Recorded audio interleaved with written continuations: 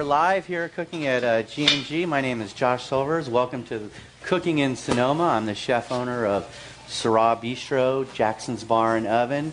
We've got some great guests here. We have Chris Silva from St. Francis Winery. Good morning, Chris. Good morning. Thanks for having us. This is terrific. Thank you for joining us. And we got chef owner of Stark Steakhouse, Monti's Rotisserie, Willi's Seafood, Willi's Wine Bar. That's at it. For, all. that's it for now. That's it for Are you Yeah, sure? that's Mark it for now. Stark, chef owner Mark Stark. And then we got Andy from Harris Ranch Beef talking beef here today.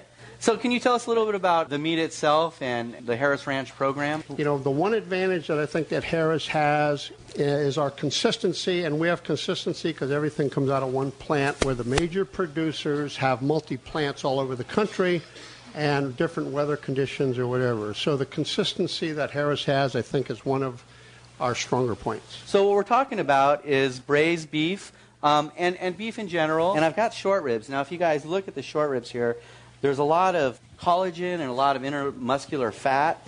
And what that does is uh, it breaks down when you braise. And so that means it's going to be really unctuous, really rich.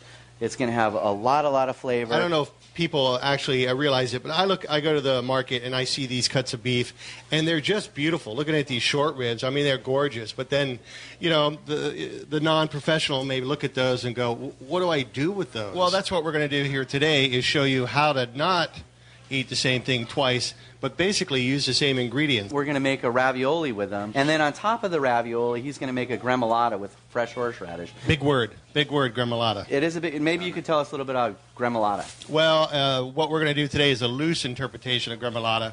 Where you see it most often is on uh, ossobuco, another great Braised braised dish. uh, dish with uh, veal, Veal shanks. veal shanks. Yeah. And it's a mixture of lemon, parsley, garlic, and uh, sometimes a little bit of anchovies. And now what I've done is I've got this pan really hot, and I've added a little bit of canola oil, and I'm going to put my meat in there. So what I'm going to do is I've got a pan getting hot, and I'm going to salt my uh, short ribs, and I'm going to liberally salt these. And on my recipe, what I like to do is I like to salt the meat the night before.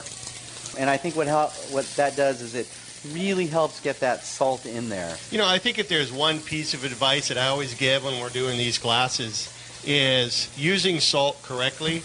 And if a lot of people, well, gosh, you know, I try to cut down on my salt. Well, if you use it properly, you can actually reduce the amount of salt you use. And by that, I mean using salt in the beginning of the cooking process because what salt is meant to do is bring out the flavor.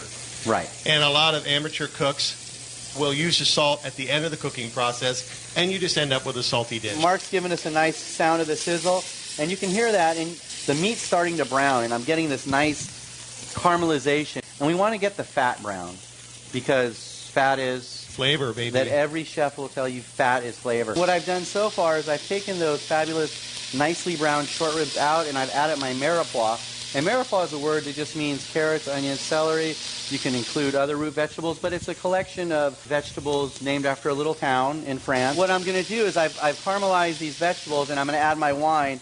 And I've got some porcini mushrooms that I've been soaking in a little hot water to rehydrate them. Oh, and I'm going to add my short ribs back, and then I'm just going to pour some of that mushroom stock in there. Mm-hmm. Mark is pulling his raviolis that he's made into a triangle shape out of some boiling water. And how long were those in there for, Chef? They were in there for about two, maybe three minutes. So I just took my filling, and I take medium uh, medium thickness wonton skins and uh, put a little tablespoon of the filling in the middle, and then a little bit of water to help seal them. Fold it over like a little triangle, and cook that in well salted boiling water. So I have my leftover short rib jus, Right. uh, a little bit of butter, and I'm going to cook that down until it coats that pasta wonton skin really nicely. We're going to finish it off with a little bit of uh, lemon oil, toss with the chopped parsley and the fresh grated horseradish.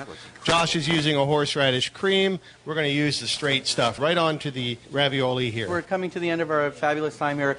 But first and foremost, I'd like to thank my guests, Chris and Mark and Andy, of course, uh, G&G Market for um, supporting this and, and having this amazing kitchen.